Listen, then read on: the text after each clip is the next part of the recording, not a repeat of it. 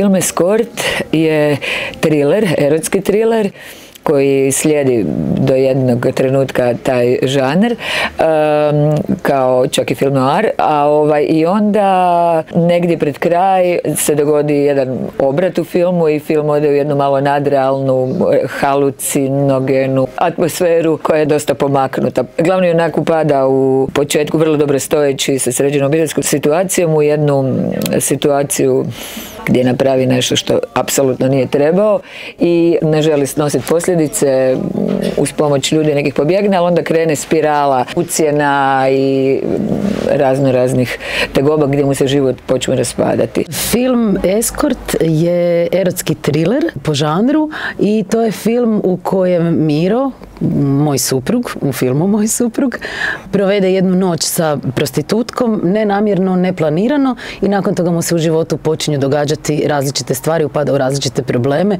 i na neki način se nosi s tim. Ja igram njegovu ženu, Dariju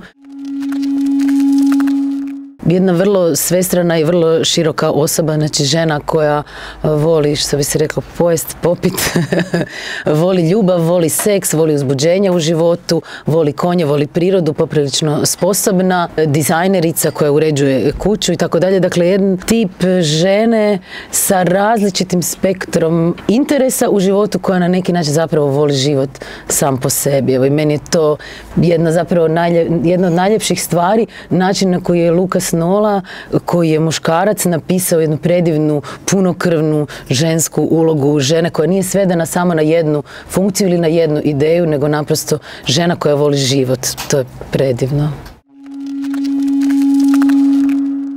Više puta sam to pitala Lukasa kao da li ona zna, on je rekao ne, ne zna i meni je to bilo s jedne strane zanimljivo jer obično žene sa nekakvim šestim čulom ili nekakvim intuitivnim sposobnostima vrlo često prepoznaju kad se nešto počne događati sa njihovim muškarcima i tu mi je zapravo bilo pitanje da li ona svjesno bira da to ne vidi ili zaista ne kuži. Veza između dvoje ljudi uvijek funkcionira, kad najbolje funkcionira, uvijek funkcionira sa svjesnošću da postoji i neka treća osoba. Na koji način se ta treća osoba konzumira ili ne konzumira, e, to je pitanje. I meni je zanimljivo da je zapravo Lukas u filmu dotaknuo tu temu, koja je sad recimo trenutno, ono ljudima koji se bave bračnim odnosima je dosta to prisutno, ta znači ideja da mora postojati zapravo netko treći u vezi, pa se onda u odnosu na to ta veza i formira i živi.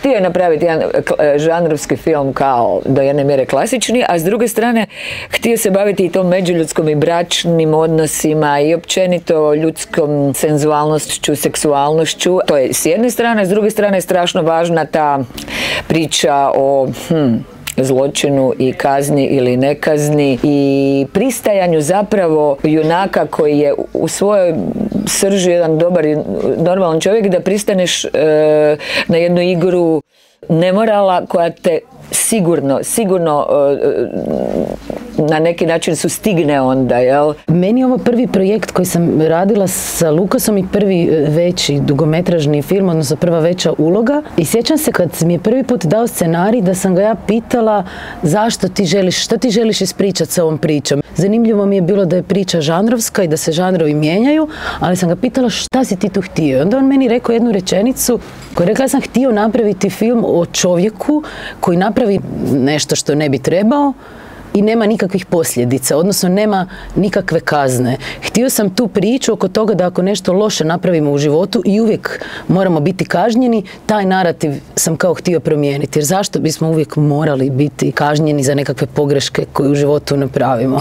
tu je negdje zapravo ta njegova ideja, koja je zapravo bila okosnica glavnog lika, Mire, o kojem je e, Lukas pričao, ja kao njegova supruga u filmu sam na neki način doživjela to kao nekakvu vrstu bezuvjetne ljubavi, ali ne u smislu moralne vertikale ili bilo kojem moralnom smislu, nego baš ono ljubav sve pobjeđuje. Ja osobno vjerujem da ljubav sve pobjeđuje i da je ljubav najjača sila koja postoji, a to je ovdje, moj lik je, ja se nadam, donio tu neku e, kvalitetu i ljubavi i života i toga da možemo pogriješiti u životu koliko god puta, ali da zašto bismo morali biti kažnjeni.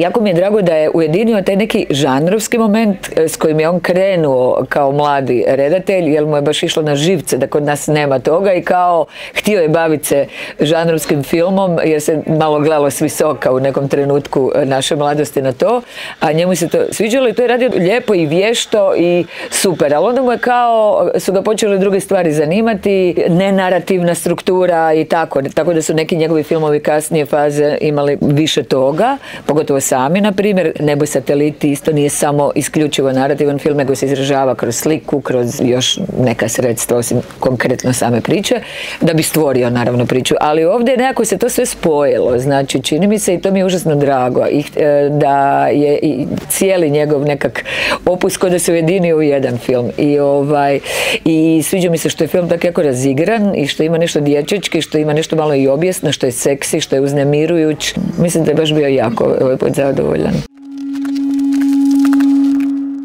Seksi, izazovan i uzbuđujući. Seksi, uznemirujuć i duhovit. I elegantan, četvrta riječ. Ok.